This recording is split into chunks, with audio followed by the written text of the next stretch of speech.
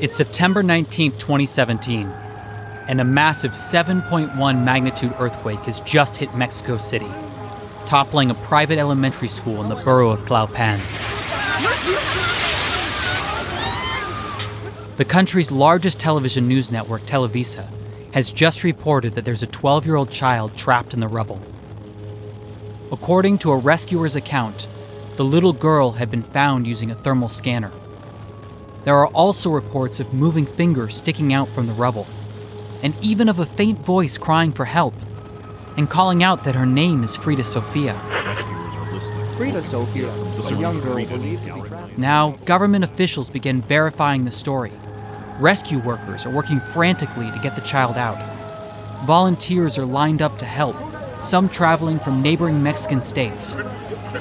Search and rescue crews have arrived from as far away as Japan, Israel, and Germany. Hashtag Frida Sofia is trending on Twitter as the nation's eyes are glued to their TVs. The only thing is, Frida Sofia never existed.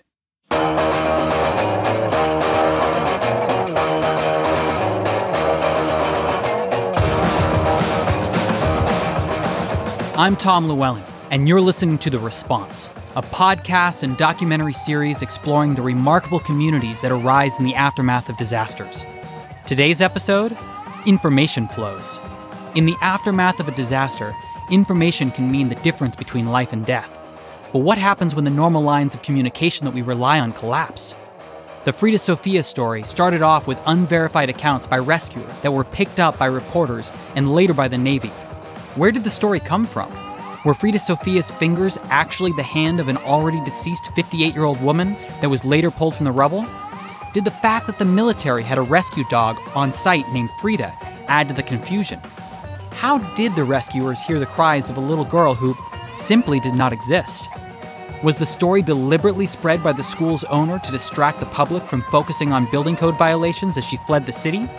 Whatever it was, the game of telephone resulted in an astonishing amount of unnecessary attention and misallocated resources. How can post disaster communities ensure that this kind of thing doesn't happen again? That rumors don't turn into facts, and that information is verified? Well, we're going to spend this episode in, you guessed it, Mexico City, exploring how what began as a group of friends using WhatsApp to share information during the earthquake turned into a vast network of information gatherers and verifiers that became known as Verificado.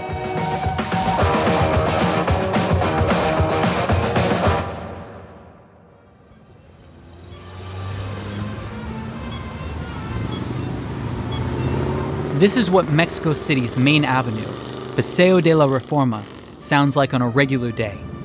But on September 19, 2017, when the Cocos tectonic plate that lies beneath Mexico City collided with the Pacific plate, the city sounded very different. Yo estaba On September 19th, when the earthquake hit, I was at work in the Juarez neighborhood. en, en mi trabajo This is Daniel Moreno. y ahí fue donde me agarró. I was the last one to leave the building because I had my headphones on. I was writing, and I only realized because the coffee mug on my desk started shaking. I took off my headphones and heard the alarm and the screams, and despite being on the first floor, it took me a long time to get out because the ground was wobbly. You couldn't walk, you'd stumble. Pasé por el estacionamiento y I went through the parking lot and saw the cars moving back and forth, as if they didn't have handbrakes, and the water pouring out of pipes. It was a sign, like completely apocalyptic. apocalíptico completamente. That was just a taste. To listen to the full episode, please visit theresponsepodcast.org or find The Response wherever you get your podcasts.